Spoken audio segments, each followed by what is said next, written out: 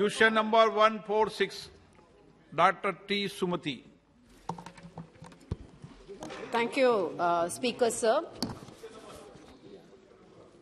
Question number 146.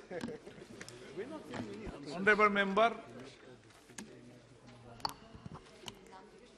Um, thank you, Madam uh, Finance Minister, for giving an elaborate answer in the answer sheet.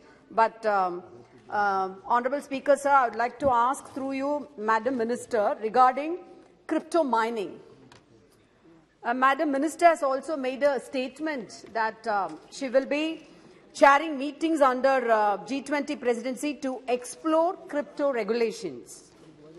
So, crypto mining is the booming thing now, the in thing in India, and a lot of Indians are taking keen interest in that with the ecosystem favorable for them also. And since China is tracking down crypto miners, India can be an alternate destination if regulatory certainty and infrastructure are provided.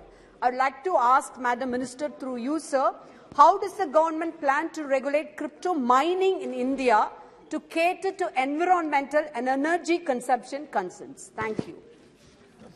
Sir, as I explained the answer given, at the moment they are largely unregulated in India. Whether it's mining or whether it's the asset, whether it is the transaction, we recognize that this is very completely almost driven by technology and a standalone country's effort in controlling or regulating this is not going to be effective and there is now an evolving consensus and that is why in the G20 we are raising this issue and having detailed discussion with the members so that a standard operating protocol emerges after the discussions in the G20 so that there is a coherent, comprehensive, all countries working together kind of approach in bringing some regulation uh, into this, whether it is uh, mining, whether it is transacting, and therefore all this is being looked at comprehensively because technologies don't brook any broader borders. They can get activated in one area where you're, control, um, where you're not controlling as opposed to the area where you're controlling. So we are working together to get a collective SOP on it. So, so supplementary one more. Um, the central bank digital currencies, CBDCs, introduced the concept of programmable money. Sir, the concept of programmable money brought forth by this could potentially impinge on individual autonomy, sir, shifting agency from individuals to an all-controlling state. So I'd like to ask uh, the finance minister through you, sir, how does the union government plan to safeguard an individual's autonomy from excessive control that could be leveraged by the states?